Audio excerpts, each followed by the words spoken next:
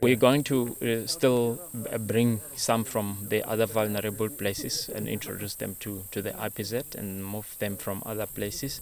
Um, so uh, the percentage on the IPZ is going to, to, to improve, of which I think it's good because it's it's it's more of a high security uh, zone that uh, uh, uh, it's there to protect other animals. But we're not saying that uh, we're not going to lose any rhino on the IPZ, but the the chances of that it will be very minimal. Yeah.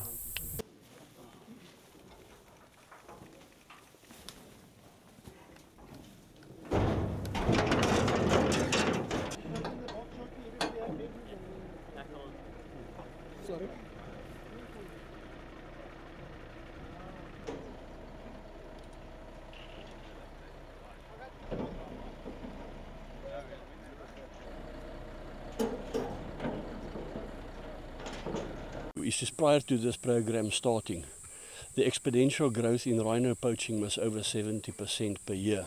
Last year we bent it down to approximately 23% and we, we, we are still off that. So we bent the curve down, but that's still six, 700, 750 rhino per year. Um, that's it. That's where we're going. Probably 750 this year.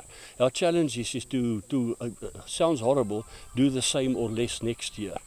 I told you about customer growth. We are just getting more and more and more poachers, and we are being pushed.